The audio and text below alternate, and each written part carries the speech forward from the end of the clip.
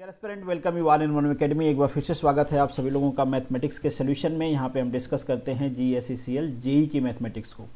Differential equation discuss कर रहे थे हम लोग। डिफरेंशियल इक्वेशन का ये हमारा थर्ड वीडियो है। एक वीडियो में मैं एक क्वेश्चन डिस्कस करता हूँ। थोड़ा टाइम का शॉर्टेज भी है, दूसरे वीडियोज़ भी आ जाते हैं। बीच बीच में आपके दूसरे रिक्वेस्ट भी आते रहते हैं। उस चक्कर में वीडियोज़ नहीं बन पाते। बट होप सो कि आप लोगों की पढ़ाई प्रॉपर चल रही होगी। आप लोगों ने मैथमेटिक्स को ख़त्म कर लिया होगा। गेट की मैथमेटिक्स सॉल्व कर लीजिए। वही सारी चीज़ें यहाँ पे भी हैं। अगर पहली बार देख रहे हैं तो ये सारा प्लेटफॉर्म है जहाँ पे आप मुझसे जुड़ सकते हैं। पीडीएफ के लिए आपको टेलीग्राम चैनल ज्वाइन कर लेना है। आप में से काफ़ी सारे लोग कंप्यूटर की बात भी कर रहे हैं कि कंप्यूटर कुछ बताइए, मैं देखता हूँ।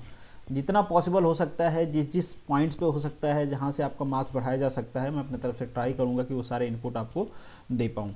तो ये जो क्वेश्चन है ऑलरेडी हमने डिस्कस किया हुआ है। ये क्वेश्चन भी डिस्कस किया हुआ है। आज हमारा थर्ड क्वेश्चन है। अब ये जो क्वेश्चन आपको दिया गया ना पार्शियल डिफरेंशियल इक्वेशन अब इस टाइप के क्वेश्चन को अगर आप ट्रेडिशनली सॉल्व करते हो ना तो आपका बहुत टाइम जाएगा इसको सॉल्व करने में। तो इस टाइप के जो भी क्वेश्चन होते हैं उनको सॉल्व करने का एक सिंपल तरीका ये होता है, अगर आपका ऑब्जेक्टिव एग्ज़ाम है तो ही ये तरीका काम आएगा ऑप्शन सेटिस्फाई करने का। और जो आपका दूसरा तरीका भी होता है, वहाँ पे भी आपको फ़ंक्शन खुद ही एज्यूम करना होता है, और ऐसे ही आप फ़ंक्शन एजूम करके उसका डिफ्रेंशिएट करते हो, दो आर्बिट्री कांस्टेंट वहाँ पे रहते हैं। दो आर्बिट्री कांस्टेंट क्यों क्योंकि यहाँ पे पार्शियल डिफ्रेंशिएशन है दो का तो दोनों आर्बिट्री कांस्टेंट की आपकी वैल्यू फाइंड आउट करनी होती है, फिर सब्सिट्यूट करना होता है। ये पूरा प्रोसेस होता है। और इसमें तो यहाँ पर आप देखोगे कि एक वेरिएबल और दिया हुआ है तो एक प्रॉब्लम और आएगा कि जब आप सब्सिट्यूट करोगे तो वहाँ पर डबल डिफ्रेंशिएशन भी आएगा। तो इस तरीके से काफ़ी लेंदी हो जाएगा ये प्रॉब्लम तो एक शॉर्ट तरीका ये है, जैसे कि मैंने आपको कहा कि ऑप्शन सेटिस्फाई करा लेना इस टाइप के क्वेश्चन जहाँ भी आए, सबसे आसान तरीका होता है ऑप्शन सेटिस्फाई करना। अब ऑप्शन सेटिस्फाई में भी दो तरीके होते हैं कि आप ब्लाइंडली जा रहे हो। एक तरीका ये होता है कि आप एक बार ऑप्शन को लुकआउट कर लो कि यहाँ पे कौन सा ऑप्शन है जो इसके पास जा रहा है, क्योंकि इसके इक्वल टू क्या है? ज़ीरो जहाँ पे भी आप देखो कि दो चीज़ें दिया गया है और उनके इक्वल टू ज़ीरो दिया गया है, सबसे आसान तरीका होता है ऑप्शन सेटिस्फाई कराना, ठीक है? तो ऑप्शन सेटिस्फाई कराने के लिए, या तो आप ऐसे देख सकते हो, इसको इधर ला लीजिए, आप देख लो, Z del Z by del Y की जगह पे क्या होना चाहिए, और यहाँ पे del Z by del X की जगह पे क्या होना चाहिए। सिंपल तरीका। तो यहाँ पे आपको देख के नज़र आ रहा होगा, क्योंकि यहाँ पे E to the power X E to the power two Y तो रहने वाला है, वो तो कहीं जाने वाला है नहीं। अब ये कहाँ कहाँ पे आपको दिख रहा है, इस वाले में नहीं दिख रहा है तो ये ऐसे कट जाएगा, इस वाले में भी नहीं दिख रहा है, ये भी कट जाएगा। अब बच्चे, ये दोनों तो ये दोनों को आप सेटिस्फाई कराओगे तो आपको इजीली पता चल जाएगा कि इनमें से सही कौन सा है, ठीक है? तो ये वाला ऑप्शन सही है, अभी के लिए मैं इसको सेटिस्फाई करा देता हूँ। आप क्रॉस चेक कर सकते हो, दोनों को सेटिस्फाई करा के दोनों में से एक सेटिस्फाई करेगा।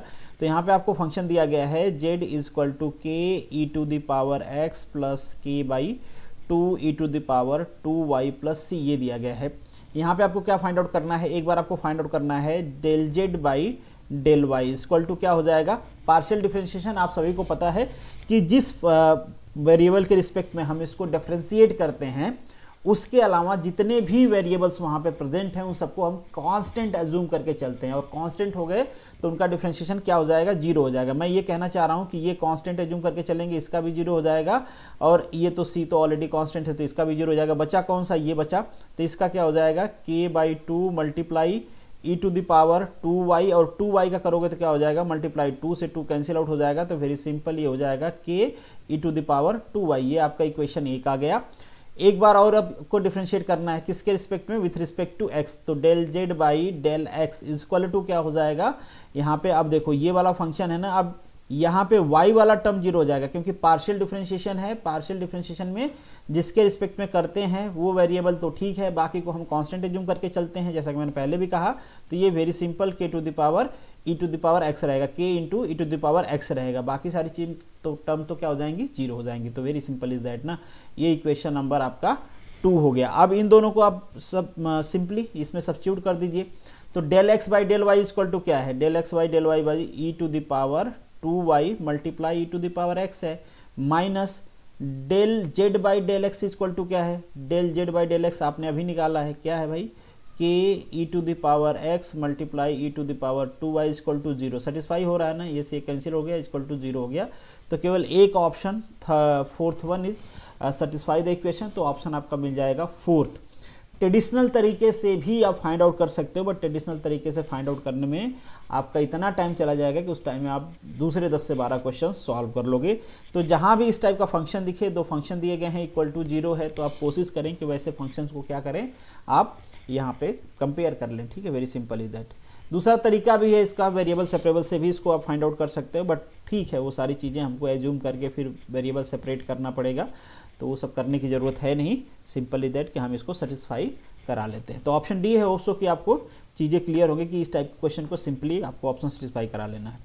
यहाँ पे एक क्वेश्चन है, ये सिंपल सा क्वेश्चन है, इसको आप एक बार ट्राई कर लेना, अगर नहीं होता है तो डेफिनेटली मैं इसको करा दूँगा। काफ़ी सारे लोग बोल रहे हैं कंप्यूटर के ऑब्जेक्टिव के बारे में तो मैं देखता हूँ कि प्रीवियस ईयर के कितने कंप्यूटर के क्वेश्चन कलेक्ट हो पाएँगे। जितने भी कलेक्ट हो पाएँगे डिफरेंट डिफरेंट एग्ज़ाम्स के, मैं कोशिश करूँगा कि वो सारे क्वेश्चन आपको करा दूँ, ताकि आपको एक आइडिया रहे कि किस टाइप के कंप्यूटर के क्वेश्चन पूछे जाते हैं। तो यहाँ पे इस वीडियो को खत्म करते हैं। दैट्स इट चलिए मिलेंगे नेक्स्ट वीडियो में। तब तक के लिए ऑल द बेस्ट